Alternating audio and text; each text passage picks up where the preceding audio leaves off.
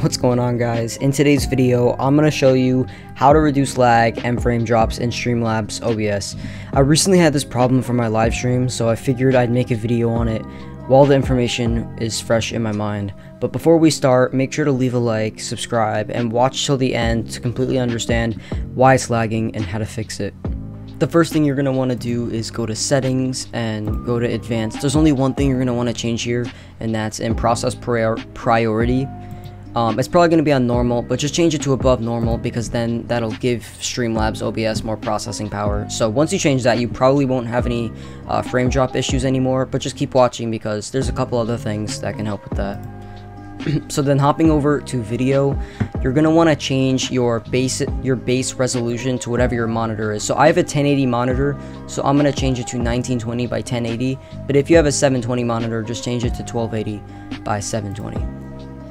and then for output resolution, um, there's a couple things that factor into what you're going to want to do this, want, want to do here, but I'll just explain it really simply and real quick so you can um, understand it better. So there's a website you're going to want to check to check your download speed. That's how you're going to know what uh, resolution is best for you. So there's a website speedtest.net slash run. I'll put name of it probably on my screen right now and the link in the description. So you can quickly head over to that and once you open it up there'll be a big go button and it'll probably take like 20 seconds to check your download and upload speed. But you're just going to want to uh, look at your upload speed for now. so let's say, yeah. So if you have an upload speed between like 6 and 10, then... Oh, I didn't mean to open OBS, my bad. Um, if you have an upload speed between 6 and 10, then you can probably keep your output resolution at uh, 1920 by 1080. But if you're still lagging, even when you have a download speed between 6 and 10, then just downscale it down to 1280 by 720. That should do the trick. And if you have below a download speed of 6, then definitely put it at uh, 1280 by 720. That'll help you out. And then for the downscale filter, you're probably just going to want to keep it at bicubic. Unless you're having like really, if you're having really bad lagging issues, then just change it to bilinear. Because it takes a lot of pressure off Streamlabs and like it doesn't uh, take as much CPU power if you have bilinear. So right here you can see, it says it's the fastest, but it's blurry if scaling. So it'll be very blurry, but you know, you'll at least you'll be able to stream if you're lagging like that bad.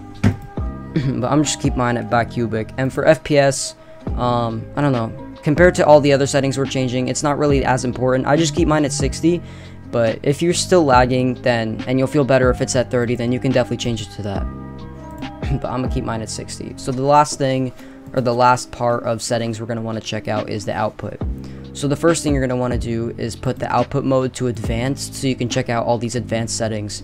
And for the encoder, probably just keep it at X264 unless you want to use, or unless you have like a good graphics card. If you have a good graphics card, then change it to NVENC because that'll take some pressure off your, uh, your CPU if you have a really good graphics card, just change it to that. Because then your graphics card will be doing a lot of the scaling and encoding. but my graphics card isn't really that good, so I'll just keep it at X264, and you should probably do the same unless you have a good one.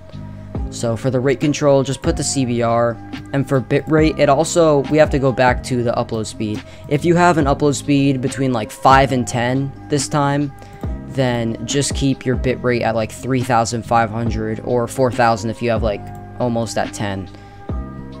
but if you have below 5, uh, and upload speed, then probably put it at like, probably put your bitrate at like 2000, 2500. And then the last thing we're going to change is make sure your profile is on main. And then yeah, that's basically all the settings. You can just click done and it'll automatically save all of it. So that's basically all the settings in Streamlabs OBS that'll actually like really help with lag and frame drops. Now another thing you can do is go into the actual game you're playing if you're streaming a game and you can just optimize the settings in there, but it depends on the game you're playing. so thank you for watching, make sure to leave a like and subscribe if this helped you out, and leave a comment if you have any questions, I'll make sure to answer them all, and I'll see you guys in the next one.